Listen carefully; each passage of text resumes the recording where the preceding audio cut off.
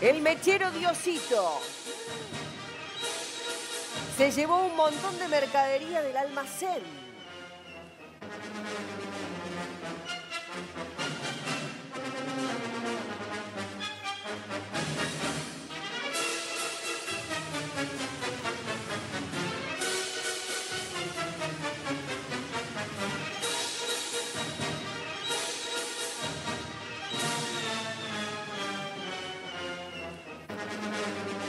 La historia como cada mañana en la voz de Gastón Marote. Ahí está el círculo rojo en el cual este, esta persona eh, se está poniendo cosas adentro, productos de este supermercado. Un supermercado al que tomaron de hijo.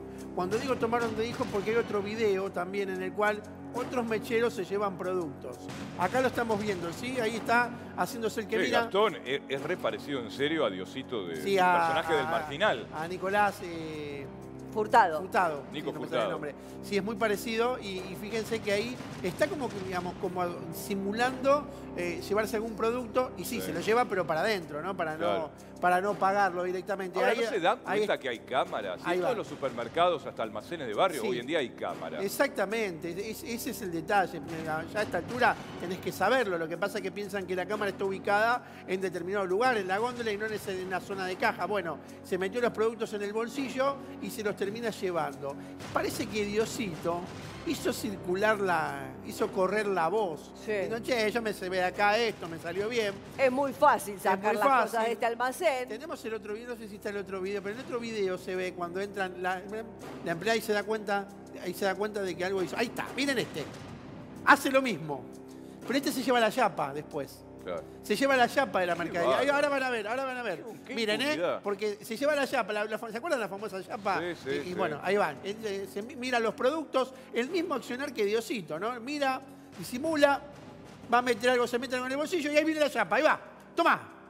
¡Pum! Ah, bueno. Ah, ya se había dado cuenta el almacenero. Y una vez me la hacen, dos veces no, dicen, ¿no? Y se la cobró. Entonces, bueno, sí, Claro, se la cobró claro, y, y claro. con creces. Directamente. Igual vamos a decir, la- lo correcto hubiera sido llamar a la policía. ¿no? Sí, lo También No hacer correcto- justicia por mano Por propia, No, por pero supuesto. bueno. Lo que pasa que, bueno, si te toman de hijo una vez, dos veces, tres veces, llega un momento que, a ver, Sí. es un delito, también entendamos esto, este, el, el hurto es un delito en el cual entran y salen los Sí, mecheros. sí, no hay un- cual, una pena, tal cual. tampoco vas a decir, che, lo tenemos que meter preso y, y que purguen 10 años de prisión. Y la verdad que al lado de otros delitos, comparados con este, y no, porque los otros delitos también tienen una condena baja. Claro. Entonces digo, es, es lógico que pase eso, pero Claro, también claro. hay- tenemos que encontrar la forma de terminar con este tipo de delitos porque están más tiempo en la comisaría armando los papeles, digamos, armando el papelerío que el tiempo que permanecen Claro. detenidos en sí. Y el fiscal te dice, por esta pavada no me No, me porque moleste". como no hay arma de fuego de por medio, no hay intimidación, no hay amenazas, no hay lesiones,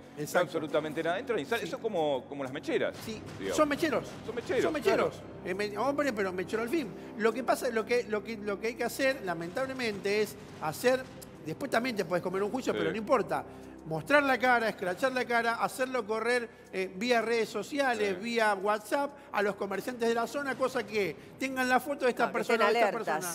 Eh, una vez que lo entrar, no, no, usted no puede entrar. Él no La puede, casa no puede reserva- argumentar el la- robo famélico, digo, porque se roba poquitas cosas cada vez que va. Sí, vos sabés, que ahora, vos sabés que ahora me agarró hambre y me voy a tomar una cerveza, Gustavo.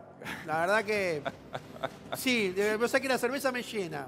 No, Viste, hay, hay robo famélico, lo puede argumentar siempre y cuando que sea comida, ¿no? Claro. Pero si es bebidas alcohólicas, no. Lo que decía, lo ideal es hacer circular la cara y cuando esté por entrar a tu local, decir, usted no entra. La casa Claro. se reserva el derecho de admisión.